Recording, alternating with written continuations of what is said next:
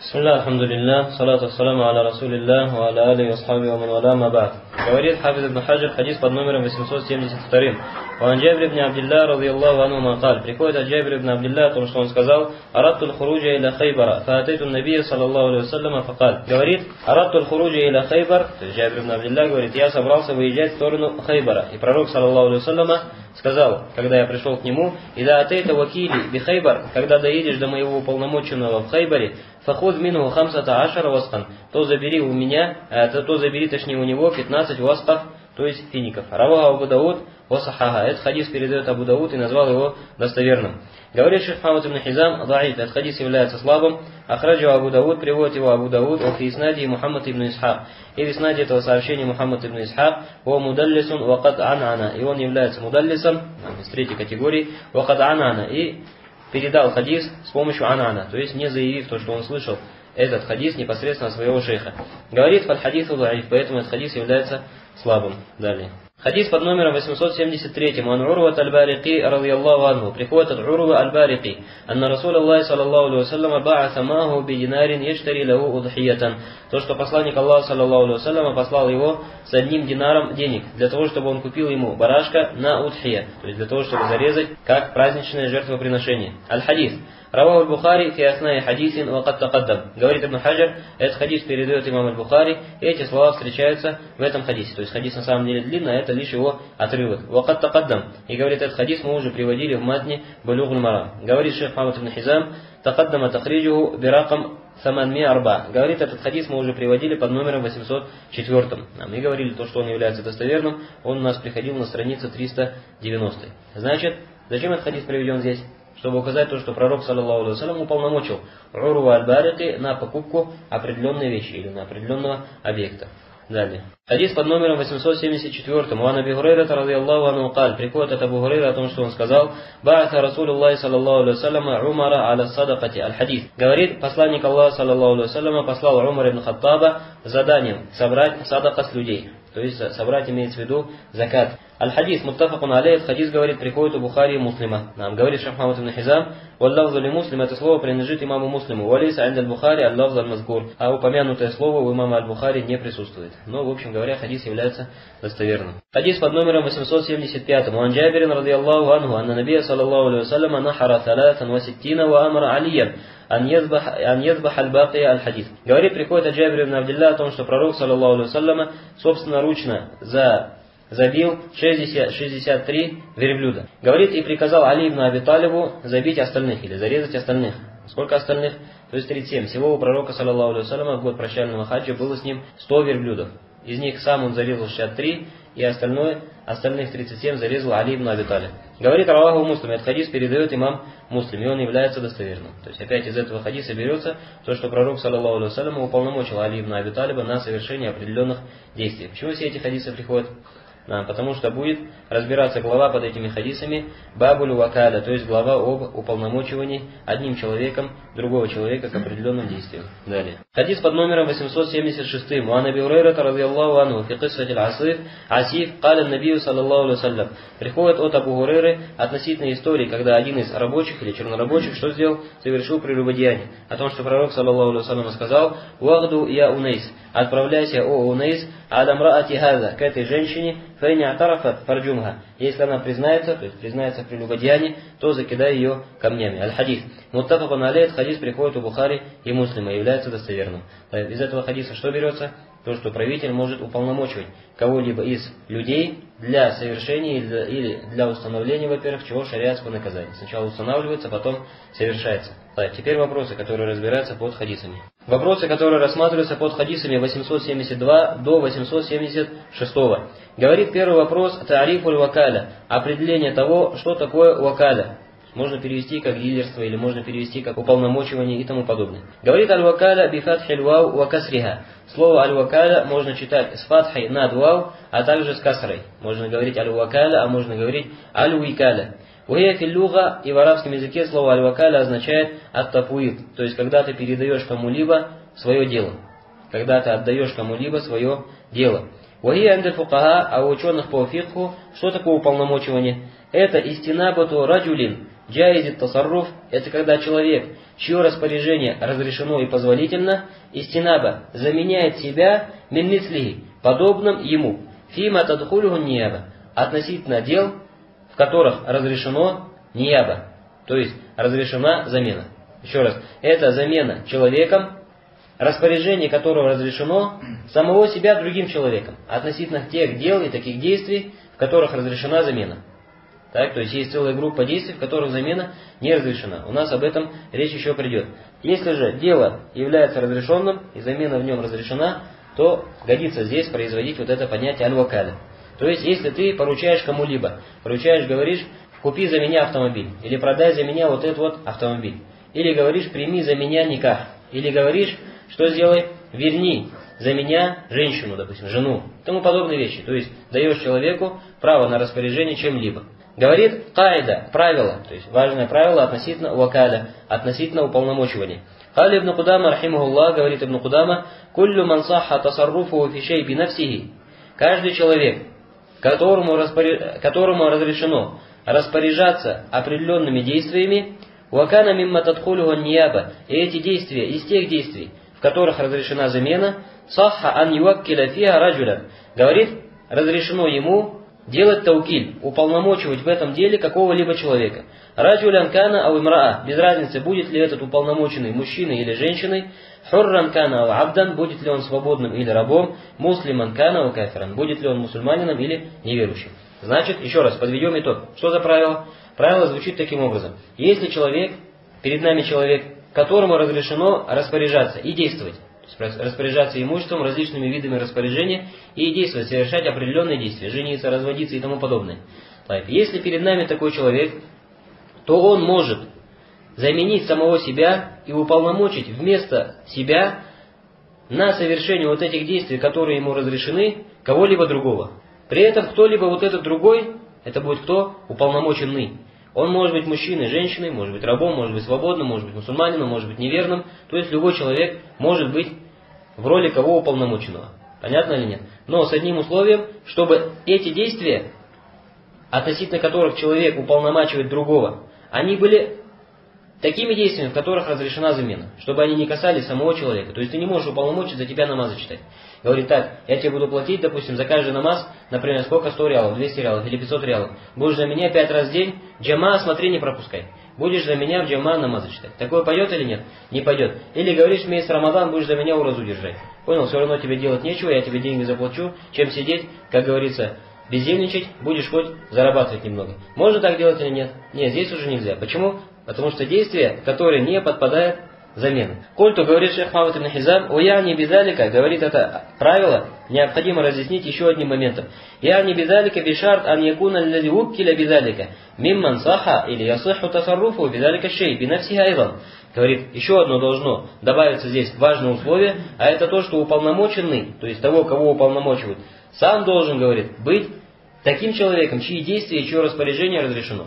То есть, если человек, допустим, маджнун, сумасшедший, или, допустим, кто? Ребенок, не достигший определенного возраста, можно ли сказать, что ты можешь его уполномочить? Нет, его здесь в данном случае уполномочить не можешь. То есть сам человек, который уполномачивается какому-то делу, сам должен быть также таким человеком, чьи действия, чье распоряжение относительно этих действий разрешены. Далее. Следующий вопрос шариятуль вакаля, о, о том, что вакаля, то есть уполномочивание или доверенность, является узаконенным. Говорит шариятуль вакаля сабита филь китабе сунна валь Узаконенность уполномочивания установлена Кораном, Сунной и единогласным мнением. Амма минал Коран, что касается Корана, факаулю Та'аля, то это слова Всевышнего Аллаха, фабаату ахадакум биварикикум хади иля мадина. То есть, когда юноши, которые находились в пещере, когда они проснули после своего сна, решили послать одного из них в город, на рынок, для того, чтобы он купил им еды. Сказал, или они сказали, фабасу, пошлите биварику или ахадакум биварикикум, пошлите одного из вас с этим вашим серебром. Или Мадина, в город, для того, чтобы он купил вам еды. То есть уполномочивание или нет? Уполномочивание. Целая группа людей уполномочила, уполномочила одного, чтобы он купил им еды на их деньги. Вакаулю Та'аля, а также слова Всевышнего, валь амилина алейха, указывая на то, что люди, которые собирают закат с людей, уполномочены на сбор заката, имеют право брать из этого заката. Но наш шахид из этого аята в чем? В том, что на сбор заката уполномочиваются, уполномочиваются определенные люди. Говорит, «Вамма мина сунна», что касается сунны, «Фа хадис аль-баб ва гайруха катира», то это хадисы главы, а также многие другие хадисы. «Вамма лиджма», что касается единогласного мнения, «Фа аджма'атиль умма аля джавазиль вакаля филь джумля», то, говорит, вся община мусульман единогласна на том, что уполномочивание или доверенность разрешена фильджумля, в общем. То есть есть некоторые разногласия в некоторых ответвлениях и небольших вопросах, но как бы в общем ответвление, а точнее вокали уполномочивания являются разрешенными узаконенными единогласно. Далее. Следующий вопрос. Бима танакиду аль-вакаля. Посредством чего становится совершенным договор аль-вакаля, уполномочивание. Говорит танакиду аль-вакаля бикулли лавзин ядуллю алейха. Говорит договор уполномочивания становится совершенным, становится заключенным любым словом, которое указывает на этот договор. Какаули, как если человек скажет «Ваккальтука» – «Я поручил тебе», «Фуафауаттука» или скажет «Я доверил тебе», или «Один туляк» – «Я позволил тебе», «Ау аджестука» или «Я разрешил тебе», «Ау аль-амру илейк» – «Это дело возвращается к тебе», «Ау машбазаль» и тому подобные фразы. То есть, если человек уполномочил другого человека какой-либо из этих фраз или подобный этим фразам, то это считается за заключение договора вакаля. Когда мы, брат, говорим заключение договора уполномочивания, не означает, что есть бумажка, двое подписались, узаконены или обговорены различные условия и тому подобное. Нет, не обязательно. То есть уполномочивание чаще, чаще всего может происходить устно. Даже посмотрим вот эти вот хадисы, которые у нас в главе. Пророк, саллаллаху алейhi уполномочил на различные задания без договоров, просто устно. Этому приказал зарезать за него животных, этому приказал купить за него животное, этому приказал пойти собрать садака и тому подобные вещи. Говорит «Ваясаху таукиль бильфи'аль айнда ба'да ахлиль И некоторые из ученых считают, что уполномочивание является действительным даже посредством действия. То есть даже если человек не высказал какого-либо слова. Каманет фа'усаубау иля кассар ау. Как человек, который протягивает свою одежду иля кассар, к тому, кто подкорачивает эту одежду. Ау хайят, или к ткачу. Ау яти бибидати или махалли таджир. Или приходит со своим товаром или махалли таджир, то есть в магазин продавца. والذي يظهر أن الفعل لا يستفاد منه بمجرد التوكيل. Говорит, но то, что кажется более правильным, что голое действие, из него не берется узаконенность или совершен, совершенность вакали, то есть уполномочивание. Илля антадулля карина тульхаль аля залика. Кроме как, если на это не указывают какие-то второстепенные доводы. وأما قبول الوكالة فتصح بالقول أو بالفعل بأن يباشر العمل فيما وكل فيه. А что касается принятия уполномочивания, то оно, да, действительно является как словом, так и действием. Действием, говорит, как если человек уполномоченный начнет совершать это действие. Знаешь, что у нас получилось в итоге в этой главе или в этом вопросе? В этом вопросе ответ получился следующим. Посредством чего становится заключенным договор вакали, договор уполномочивания. Основа, что это происходит словами, когда человек обращается словами, которые указывают на уполномочивание. Я уполномочил тебе, я доверил тебе, я разрешил тебе, я позволил тебе, это дело возвращается к тебе, или что-либо подобное из этих фраз. Если такое слово было произнесено, считается, что договор вакали э, состоялся и считается заключенным со стороны уполномочивающего. А уполномоченный может принять это уполномочивание принятием «я принял» словом, или может начать делать это действие. Забирает у тебя из рук бумаги и идет, допустим, продавать твой автомобиль. Все, забрал от тебя, ушел. Даже если он не сказал, что я этого принимаю, понятно, что он, раз вступил в действие, что он принял это уполномочивание. Вопрос, а можно ли уполномочить действием? Говорит более правильно то, что голое действие не указывает на что на уполномочивание, но должно сопровождаться как минимум, если не словами, то как минимум второстепенными указаниями, которые указывают на то, что человек не просто так совершает определенное действие, но хочет этим уполномочить другого к этому действию. Понятно ли нет? Значит, уполномочивание в основе делается словом. Может произойти делом, если на это указывают второстепенные доводы. А принятие уполномочивания может произойти как словом, так и делом. И делом оно происходит, если человек начнет совершать действия, на которые его уполномочены. Далее. Следующий вопрос. Кабулюль вакаля аль-фор ват-тарахи. Указание на то, что принятие уполномочивания может произойти как немедленно, так и с откладыванием. Кали Ибн Кудама фильмугни, говорит Ибн Кудама в своей книге Аль-Мугни, «Уяджузуль кабуль аль-фор ват-тарахи». Принять уполномочивание, что значит принять? Не передать, не уполномочить, а принять это уполномочивание. Когда тебя кто-то уполномочивает. Можно принять это уполномочивание либо немедленно, то есть начать совершать действие, на которое тебя уполномочили тут же, сразу. Аутарахи. Или можно сделать это с откладыванием. Наху ан яблугаху анна раджулян ваккалюху фи бей'i шей музу сана фаябиаху. Как если, допустим, до него дошла новость о том, что человек уполномочил его продать какую-то вещь, оказывается, уже год назад. А новость или этот приказ дошел тебя, до тебя только сегодня. Говорит, проблемы нет. Берет этот товар, тогда, когда до него дойдет приказ об, об уполномочивании или такая просьба, и берет его, продает через год. То есть после того, как до него дошло.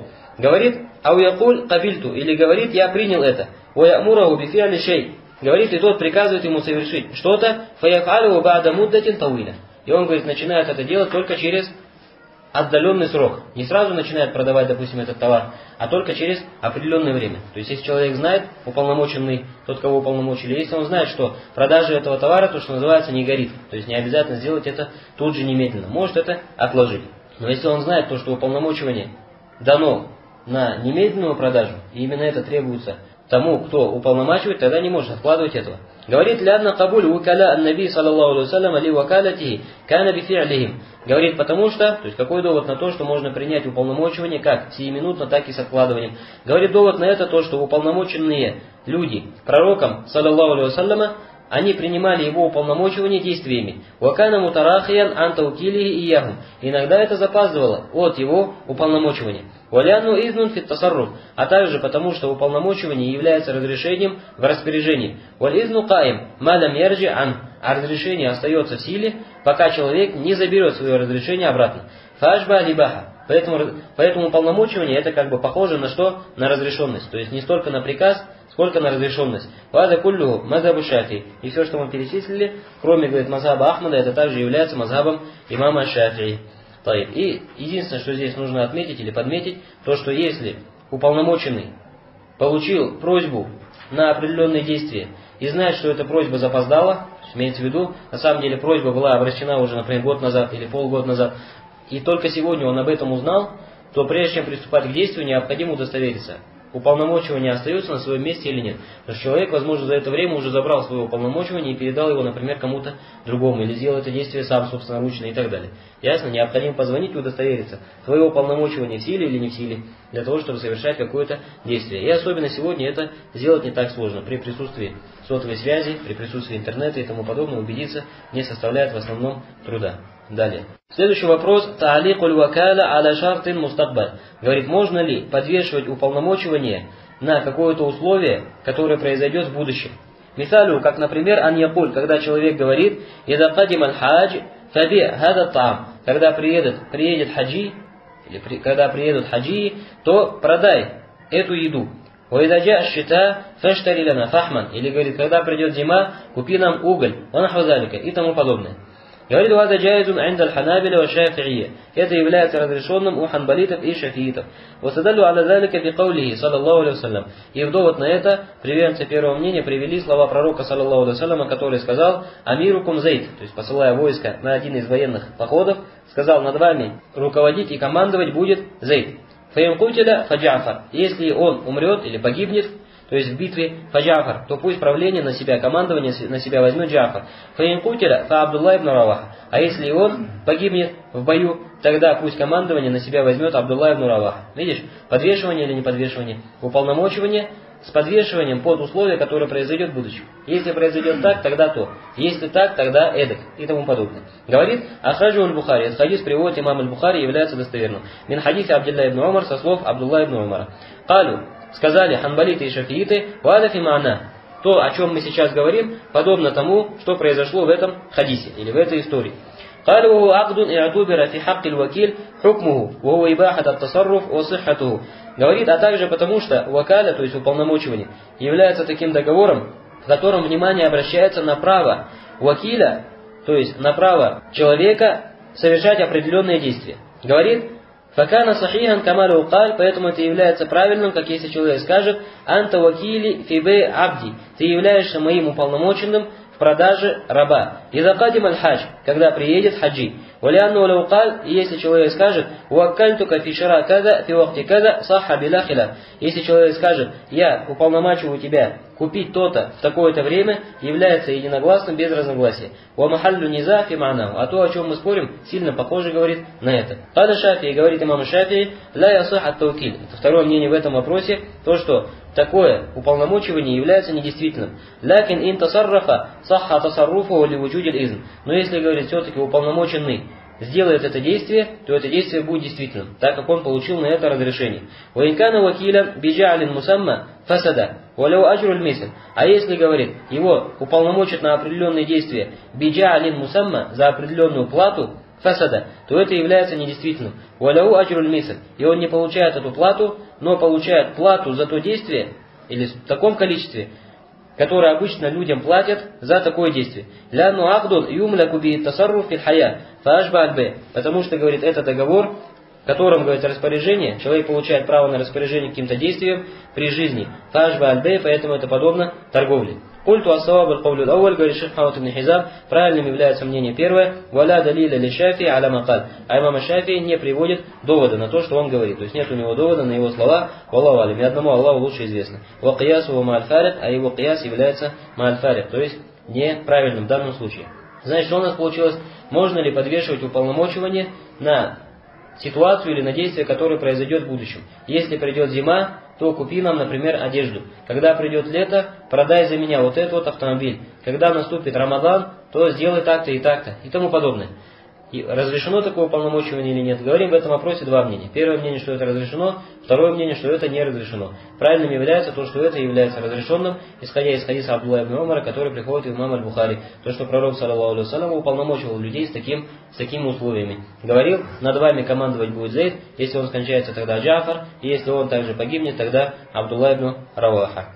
Далее. Следующий вопрос. Аль-вакалю татасих биджа'алин ва бигири джа'аль говорит указание на то, что вакаля, то есть уполномочивание, является действительным биджалин бигайриджаль, за плату и без платы. То есть ты можешь уполномочить кого-то без платы его работы, без оплаты его работы. А можешь уполномочить кого-то с оплатой его работы. Кали Ибн Кудама Мугни, говорит Ибн Кудама в своей книге Аль-Мугни, «Ваяджузу таукиль биджалин ва джаль». Разрешено уполномочивать другого человека на какое-то действие на основе платы за это действие, а можно бесплатно. Фаина Набия, саллаллаху алейhi уаккаля унейсан фи икамат хад Посмотрим, говорит, как делал пророк, саллаллаху алейhi Он, говорит, уполномочил Унейса на совершение шариатского, на притворение в жизнь шариатского наказания. Ва урва фи шара и шатин. А Рури аль-Барики уполномочил его купить ему барашка. Ва амран ва абарафи фи кабулин никах бигайриджан. И Амру и Абу Рафиу позволил принять от его имени никах, или уполномочил принять от его имени никах. И все это бигайриджаль, все это без платы. Все это люди сделали без какой-либо оплаты их труда. Так, что касается вот этого последнего, Амра, а также Абурафя, то под Амром имеется в виду Амр ибн Умейя. То есть вопрос или речь идет о том, когда пророк, саллаллаху алейhi взял в жены Умму Хабиба. Умму Хабиба тогда была когда, где? В Хабаше, была в Эфиопии, и пророк, саллаллаху алейhi решил жениться на ней. И приказал, то есть ее выдал замуж Наджаши выдал ее замуж на Джаши, а пророк, саллаллаху алейhi вместо того, чтобы принимать никах самостоятельно, уполномочил на это Амра ибн Умейя и кого? И Абу Рафия. Абу Рафия его вольноотпущенник. Они двое приняли за него никах от Умму Хабибы. Так они сделали это за плату или нет? Они сделали, говорит, это бесплатно. وَكَانَ يَبْعَثُ عُمَّالَهُ لِقَبْضِ الصَّدَقَاتِ وَيَجْعَلُ لَهُمْ عِمَالَةً Но вместе с этим иногда пророк, саллаллаху алейhi посылал людей, уполномочил их на сбор заката с других людей. Говорит, и за это назначал им зарплату. Валяда каля лаху ибн амми. Поэтому, говорит, два сына его дяди сказали пророку, саллаллаху алейhi Леба астана аля садакат. Если бы ты назначил нас на эту работу и дал нам эту работу, собирать с людей закат. Фануадди илейка майуаддин нас. И мы отдавали бы тебе то, что отдают тебе остальные люди. Ванусыбу маюсыбу нас. И получали бы за это зарплату так же, как за нее получают люди. То есть, вместо того, чтобы назначать других чужих людей, назначь нас на сбор заката. Мы будем собирать и отдавать тебе то же самое, что отдают другие, которых ты назначаешь. И будем за это получать зарплату так же, как получают другие. Так, значит, в итоге, что получилось у нас в этом вопросе? То, что назначение или уполномочивание, или доверие может производиться как на оплачиваемой основе, так и на неоплачиваемой основе. Далее. Следующий вопрос. Аль тасухуль вакаля аль мутлака фи кулли шей. Является ли действительно уполномочивать уполномочиванием неограниченным каждой вещи? То есть говорить, делай за меня все, что мне самому разрешено делать. Так можно сказать или нет? То есть поставить себя, поставить какого-то человека вместо тебя в абсолютно всем. Говорит Кали ибн Кудама фил Мугни, говорит ибн Кудама в своей книге Аль-Мугни, «Вала тасиху вакаля илля фи тасарруфин ма'люм». Не является действительным уполномочивать кого-то, кроме как на определенное известное действие.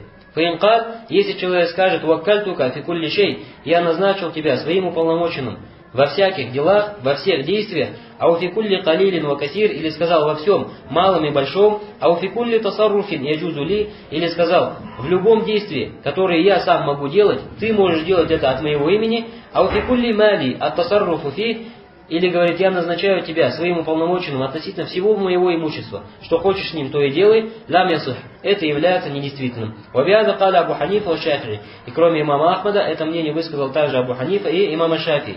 Вакали Ибн Абилейля и Ибн Абилейля, это второе мнение в этом вопросе, сказал, ясух, это является действительным.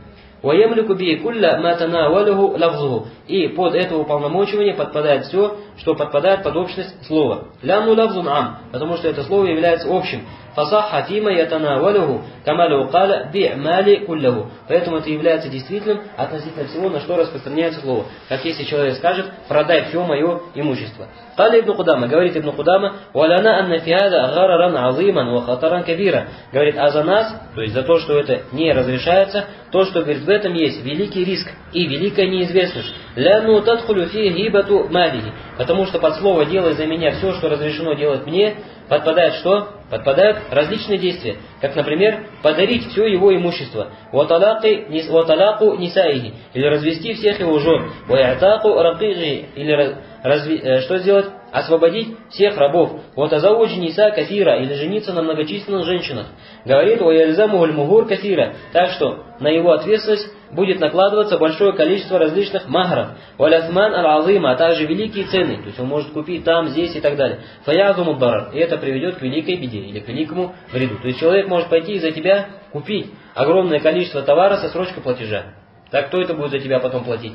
И тому подобное. Может жениться за тебя, точнее, что сделать? Не за тебя жениться, имеется в виду принять за тебя никак относительно женщин и согласиться на магар от твоего имени и тому подобное. Может развести твоих жен, может продать твоих рабов, может продать или подарить все твое имущество и тому подобное. Поэтому, говорит, в этом есть великая опасность, поэтому это не разрешается. Вассахих Паулюль Джумур, говорит Шейх Хамад Хизам, и правильным является мнение большинства ученых, то есть о том, что это не разрешено. Уахтьяруль Аллам Ибн Асаймин, это мнение выбрал также Шейх Ибн Асаймин в данном вопросе. Значит, все возвращается к чему? той фразе, которую высказал Ибн Кудама в начале своих слов. Сказал, «Уаля тасиху вакаля илля фи тасарруфин ма'лю». Не разрешено уполномочивать кого-то из людей, кроме как относительно известных действий. Просто так, гарар, неизвестно, непонятно какие действия, уполномочивание является недействительным. Понятно или нет? Но ты, когда уполномочиваешь, должен ограничивать действия человека. Я уполномочиваю тебя на то-то. В вопросах таляка, никаха, или магра, или рахна и тому подобное. Вадия, ария и так далее. Продажа, купля развод. В этих вопросах. И ограничивающему круг вопросов. А. А так просто говорить, делай относительно моего имущества все, что разрешено мне, это майджут, не разрешено. Почему? Потому что тебе много чего разрешено, и ты, уполномочив его, потом сам будешь жалеть об этом. Или говоришь, делай вообще любые действия, которые я могу делать в этой жизни, от моего имени. Тоже является неразрешенным. Далее. Следующий вопрос. А является ли действительно уполномочивание из-за таль иштари ли машита? Если человек скажет, купи мне то, что захочешь. Кали Ибн Кудама филь Мухни, говорит Ибн Кудама в своей книге Аль-Мухни, «Ваин кали иштари ли ма лам ясих». Также, если человек скажет, купи мне, что пожелаешь, это является недействительным. Ляну кадештари ма ла яклюру аля. Потому что, возможно, он купит то, с чем ты не сможешь потом расплатиться. То есть отсрочка платежа купит, потом не сможешь за это расплатиться. Вакадруя анахмад маядуллю аля сухати. Это первое было мнение в вопросе. И второе мнение в этом вопросе, то, что передается также от имама Ахмада, то, что указывает на то, что это является действительным. Ликаули фираджулей каля куллю вахин минхум али сахибихи. Потому что имам, от имама Ахмада пришло, что относительно двух людей он сказал. То есть, когда один сказал второму, «Маш тарайта миншей фавабайнана», что бы ты ни купил, то есть из моего имущества, فهو بيننا, оно будет между нами. То есть за половину э, будешь, или между нами имеется в виду, что половиной будешь пользоваться ты, половиной буду пользоваться я. Ибн Муджайс, имам Ахмад относительно этого сказал, это разрешено. وأعجبه это ему понравилось. Валянна шарик валь мудариб вакилян фи и маша. И также провели аналогию. Говорят, как, например, партнер или мудариб являются кем? Как бы твоими уполномоченными, уполномоченными людьми, которые могут покупать, что захотят. Как это понять? Когда ты отдаешь деньги, попроси партнерства твоему партнеру. Ты даешь деньги, он работает. Ты же ему не, не указываешь, что покупать, что не, не покупать и тому подобное. Он как бы получает от тебя разрешение делать с этим имуществом, что он считает правильным. Покупать определенный товар, продавать его по определенной цене и тому подобное. Видишь, получается, что как будто бы ты ему сказал, покупай от моего имени, что пожелаешь. Говорит, фа'аля лейса лева нештари илля бисаманил мисль фамадун. Поэтому, говорит Ибн Худама, если мы посчитаем это правильным, то нам нужно сказать, что уполномоченный не имеет права покупать этот товар, кроме как по среднерыночной цене или по более дешевой цене. То есть по более дорогой цене не должен покупать. Так, говорит, «Валя яштари ма аля самани». А также не должен покупать то, относительно чего уполномочивающий потом не сможет расплатиться. А также не должен покупать того, в чем он видит отсутствие пользы от покупки этого предмета. Культу, говорит шейх Мамад ибн Хизам, «Канна ибн Кудама ямилю иля ривая сани, вай акраб». Говорит, из слов ибн Кудама понимается, как будто бы он склоняется ко второму риваяту, то, что это является разрешенным. И это мнение, говорит, является более правильным. И сам же шейх Мухаммад ибн Хизам в конце вот этого вопроса упомянул о том, что если мы говорим, когда человек говорит, купи за меня то, что пожелаешь, говорит, не имеется в виду мутлакан, не имеется в виду неограниченно, что пожелаешь вообще, но имеется в виду только то, что понятно из нашего разговора, исходя из нашего обычая между тобой.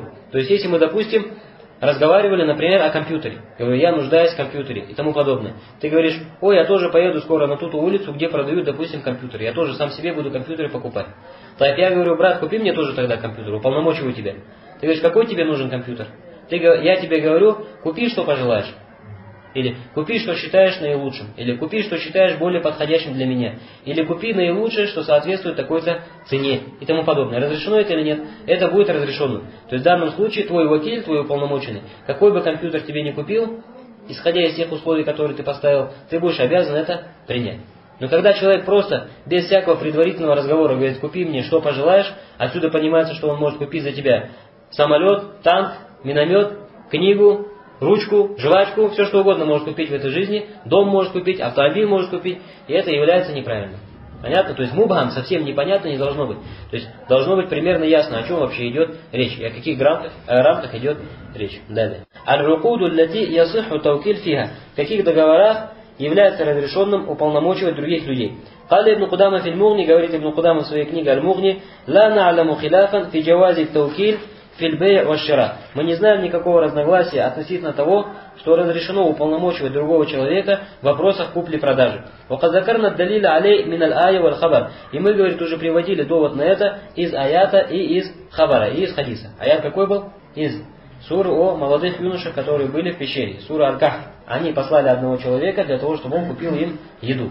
И хадис какой? То, что пророк, саллаллаху алейhi послал Уру аль-Барики для того, чтобы он купил ему барашка на праздничный день. Говорит, «Валиан аль-хаджа да'ятун иля таукиль фи». Значит, доводы на это какие? То, что разрешено уполномочивание в вопросах купли-продажи. Доводы на это аят и хадис. А также говорит аргументация, заключающаяся в том, что есть нужда людей к этому.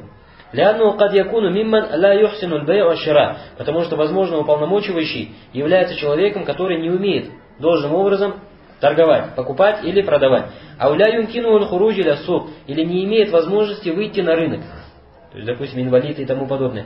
وَقَدْ يَكُونُ لَهُ مَالٌ وَلَا يُحْسِنُ التِّجَارَ فِيهِ Или есть у него имущество, но он не умеет торговать. وَقَدْ يُحْسِنُ وَلَا يَتَفَرَّخ Или умеет торговать, но не имеет для этого свободного времени. Так, это первое. Значит, относительно купли-продажи нет никакого разногласия, что таукиль, то есть уполномочивание, относительно этих вопросов разрешено. قال ويجوز التوكيل في الحوالة Далее, говорит Ибн Кудама, а также разрешено уполномочивание фильхаваля относительно перевода долга.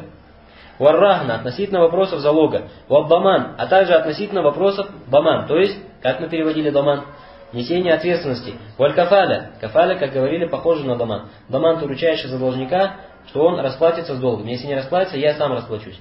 А кафаля это когда ты ручаешь за должника, что ты его приведешь кому кредитору. Вот шарика, а также разрешена разрешено уполномочивание в вопросах партнерства. Вальвадиа, а также в вопросах оставления вещи на хранение. Вальмудараба, а также в вопросах партнерства какого вида мудараба. Когда ты, да, инвестируешь в другого человека, даешь ему денег, а он работает. Говорит валь джааля, а также в вопросах джааля. Что такое джааля? Джааля у нас придет, как отдельная глава, последний самый раздел в этом томе у нас придет. Джааля это когда ты назначаешь какую-то цену. Кто, допустим, выкопает мне колодец, я заплачу ему такую-то цену. У нас еще это известно как тендеры. Тендер. Кто построит для нас, допустим, такое-то здание. Кто построит для нас, допустим, такой-то парк, например. И приходят различные фирмы и относительно этого тендера соревнуются. Кто возьмет этот тендер. Называется как аль-джааля. Или говоришь, кто найдет мне моего верблюда, я заплачу ему столько-то. И так далее. Валь мусака, валь иджара. Что такое мусака мы говорили? Аль-мусака это тоже партнерство. Когда ты отдаешь крестьянину землю, а он, мусака, землю, на ней есть деревья и плоды. И он, соответственно, ухаживает за этими деревьями и тому подобное. Потом выросшие плоды мы делим с ним, допустим, напополам. Или мне 70%, ему 30, или ему 70, мне 30 и тому подобное. Называется как? Мусака. Говорили, что на это похоже на мусака? Музара. Музара то же самое, только не относительно плодов, а относительно посевов и зерен. Говорит Валиджара, а также в вопросах аренды. Как понять, разрешено уполномочивать в вопросах аренды? Говоришь, вот моя квартира, я тебя уполномочиваю найти на нее нужных, подходящих, хороших людей. То есть заведи их квартиру, будешь забирать у них деньги. Если что-то получится, то ты будешь за это нести ответственность. То есть, если приедут какие-то нехорошие люди, или разобьют мне квартиру, или испортят мне ремонт в квартире и тому подобное. Говорит, валкар, а также в вопросах долга. Что значит в вопросах долга? Я уполномочиваю тебя, говорю, отправься к такому-то и возьми за меня в долг. То есть, от моего имени возьми у него в долг. Вассульх, а также в вопросах перемирия. Когда человек отправляет другого, куда? Заключить от его имени перемирие. Валь-васия, а также в вопросах завещания. Валь-гиба, а также в вопросах подарков. Валь-вакф, а также в вопросах вакфа. Вакф это что такое? Когда ты оставляешь что-то на, обще, на общественное пользование мусульманам. Если ты уполномочиваешь на это кого-то, говоришь вот это вот, вот этот участок земли, допустим, 20 гектаров, я уполномочиваю тебя от моего имени составить договор, что я передаю эту землю под мусульманское кладбище, например, и тому подобное. Говорит у вас садака, а также в вопросах садака, то есть в вопросах сбора заката, допустим, и так далее, или раздачи милостыни. Вальфасх, а также вопросах аннулирования договоров. Иди от моего имени аннулируй этот договор. Валибра, а также прощение. Что значит ибра? Мы говорили, то есть прощение долга. Отправься к такому-то и извести его о том, что я простил ему часть долга, или простил ему весь долг, и так далее. Говорит, «Лянна фиман альбе фильхаджи или таукили фиха». Говорит, почему все это, или во всех этих договорах разрешено уполномочивание. Потому что все эти договора похожи на бе, на торговлю, той стороны, что и в них тоже есть нужда к уполномочиванию. Фаязбу фия хукмуху. Поэтому постановление распространяется на эти виды договоров так же, как распространяется на виды договоров купли-продажи. Валя на адаму фишей минзалика хтиляфан. Говорит, и относительно этого также мы не знаем никакого разногласия. То есть те договора, которые были перечислены выше, относительно этого разногласия, но куда мы не знаем, что уполномочивание в них разрешено. Культу говорит Шейх Махмуд ибн Хизам, «Вакад халяфа ибн Хазм фи балди зукира». Говорит, вместе с этим пришло разногласие от ибн Хазма относительно некоторых договоров, которые были упомянуты. Кальгиба, валь-афу, валь-ибра, вассульх, вагайриха. Как, например, относительно вопросов подарков, валь-афу, а также прощения. Что за афу? Прощение. Здесь уже не имеется в виду прощение долгов. Афу, то есть прощение, допустим, за смертную казнь. То есть, если, допустим, кто-то убил твоего родственника, ты его прощаешь. Не казнишь его в отместку но, допустим, берешь от него дию. Или если человек нанес какое-то увечье другому, и тот второго простил. Сказал, хорошо, я не буду наносить тебе возмездные увечья. Увечье. Называется как? Афу. Валибра. Или прощение, вот ибра уже прощение относительно долгов. Васульх, а также перемирие, вагайриха и другие.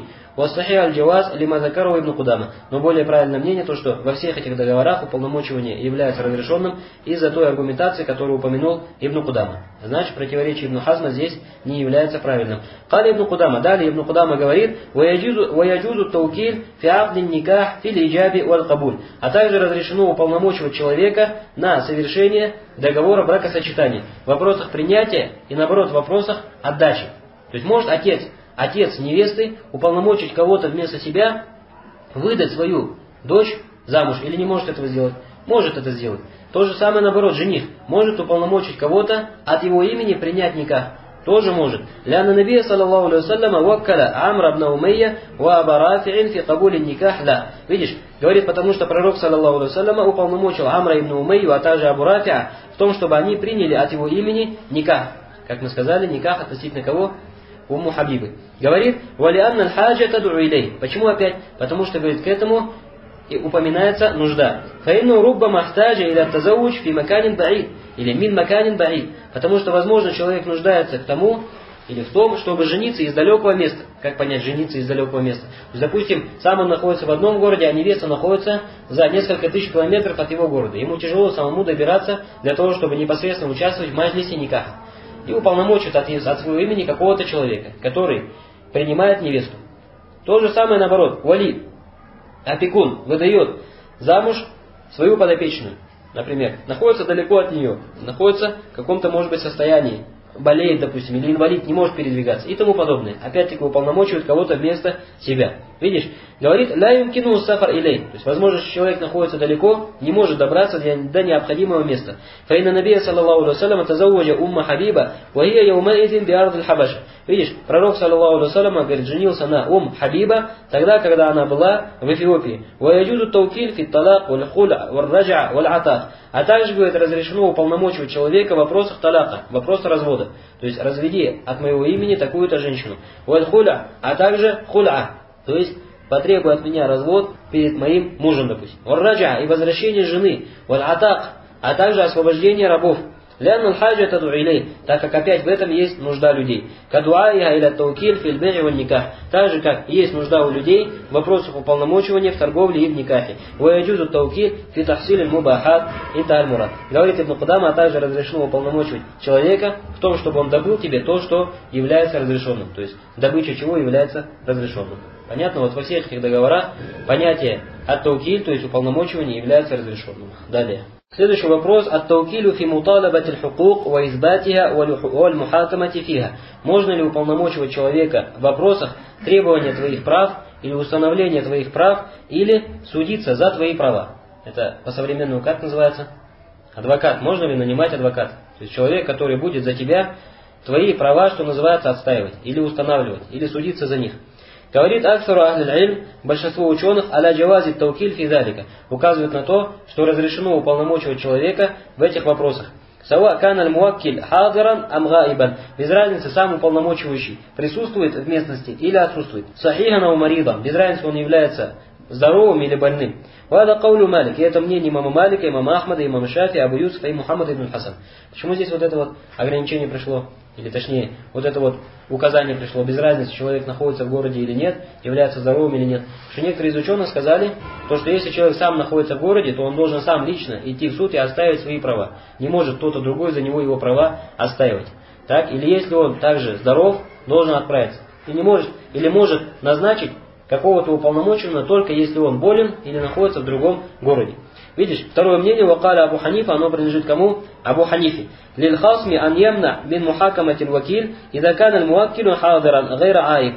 Говорит, хасам, то есть противная сторона, относительно которого будет производиться судебная тяжба, может быть отказаться, вести спор с кем, с адвокатом, с уполномоченным оппонента. Но может потребовать, чтобы привели в суд именно его оппонента, а не его адвоката. Говорит, если он хадр, если он находится в этом городе и не отсутствует. Ляна худура фи маджлис хукам хаккун лил алей. Потому что, говорит, его присутствие в судебной тяжбе или в судебном разбирательстве является правом оппонента. И на самом деле на это нет довода, на то, что это является правом оппонента. То есть оппонент должен вести свою судебную тяжбу без разницы самим человеком или с его уполномоченным.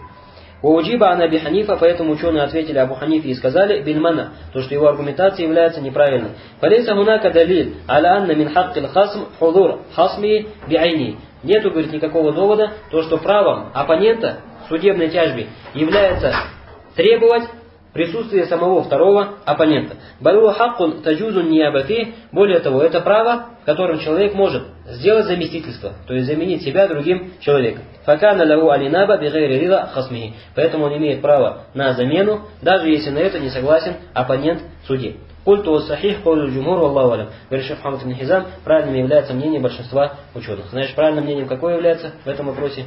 Мнение о том, что человек может уполномочить кого-либо на установление его прав в суде или на их отстаивание, или на судебную тяжбу от его имени и за него. Далее. Следующий вопрос от Таукилю фи избатель худуд о стифаиха.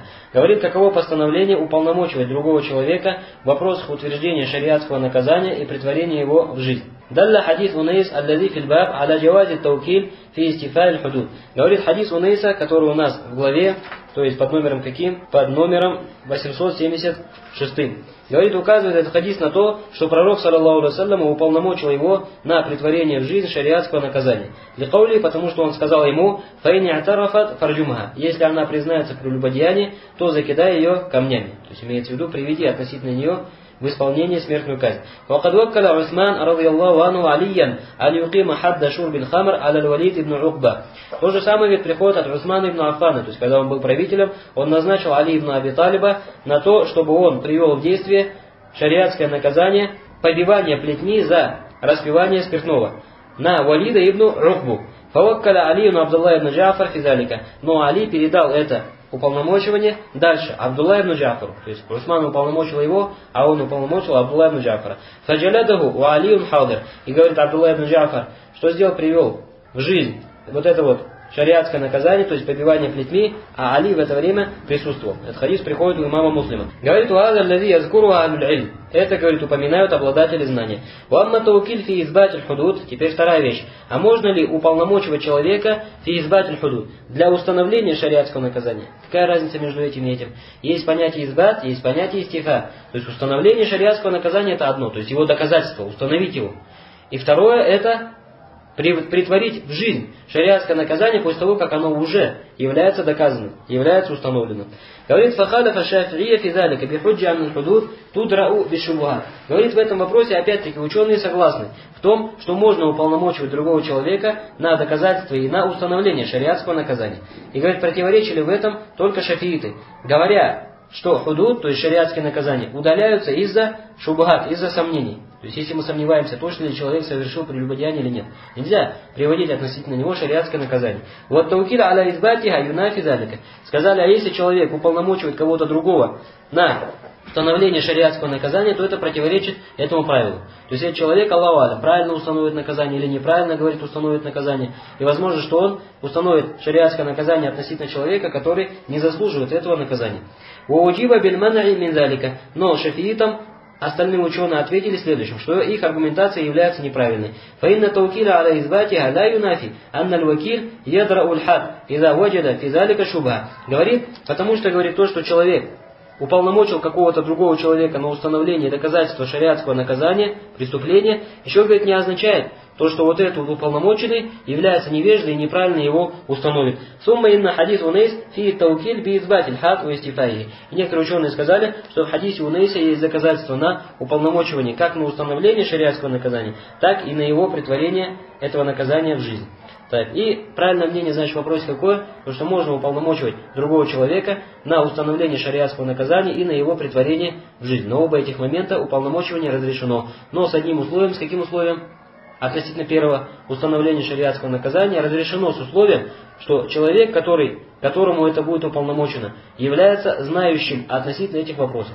То есть, если человек сам не знает, за что устанавливается шариатское наказание, за что нет, какое шариатское наказание устанавливается за определенное действие и тому подобное. Если он этих знаний не имеет, то нельзя такого человека уполномочить в этих вопросах. Но уполномочивать можно только тех, которые обладают полноценными знаниями в этих вопросах. Если они обладают полноценными знаниями в вопросах, то это разрешено. Далее, следующий вопрос. И последний вопрос на сегодня. Ат-таукилу фима ятааллаку биайниль муаккиль. Можно ли, говорит, уполномочивать какого-то человека на совершение определенных действий, так что эти действия связаны именно с личностью уполномочивающего. То есть шариат приказывает эти действия выполнять именно этому самому человеку. Как мы сказали, намаз, допустим, ураза и тому подобное. Здесь человек может другого назначить вместо себя уполномоченным или нет. Говорит Уазалика мислюд айман, как, например, клятвы. То есть, могу ли я уполномочить какого-то другого человека за меня клятву произносить? Можно или нет? Является неразрешенным. Говорит он нузур, или давание обетов. Вот шахада, или свидетельство. То есть, как если ты свидетельствуешь за кого-то. Говоришь, я тебя уполномочиваю, иди сходи в суд и за меня засвидетельствуй. За такого-то, что я видел, допустим, что этот воровал, или что это совершал прелюбодеяние и тому подобное. Говорит, это не разрешается. Валь-иля. Что такое аль-иля? Аль-иля это когда человек отказывается совершать половак со своей женой. такому судья дает 4 месяца, если он не вернется от своего отказа, то судья требует от него развода, то есть заставляет его развести его жену. Этот вопрос у нас придет подробно в следующих главах. Говорит он лиан, а также взаимное проклятие. Сможно ли на вопрос взаимного проклятия назначить кого-то другого или нет? Нет, не разрешено. Сможешь ли ты отправить человека, который будет совершать взаимное проклятие с твоей же женой? Нет, не можешь этого сделать. Говорит, لا يصح التوكيل فيها عند أهل العلم. Во всех этих вопросах не разрешено уполномочивание у обладателей знания. لأنها تتعلق بالموكل نفسه. Потому что эти вопросы связаны с самим муаккиль, самим уполномочивающим. ولا تصح من غيره. Так что они не являются действительными, если за, не, за него эти дела сделает кто-то другой. Все, вот этот вопрос понятен же, так или нет? Знаешь, мы в этом вопросе смотрим разрешена ли или позволительна ли шариатом замена одного человека другим человеком в вопросе. Если разрешена, то общее правило, то, что таукиль, уполномочивание в этих вопросах разрешено. Если замена не разрешена в каком-то конкретном вопросе, то значит и уполномочивание будет не разрешенным. Это общее правило, которое необходимо усвоить и запомнить. Субханак Аллахума бихамдик, ашаду ла илляха илля анта, астахфируллаха ва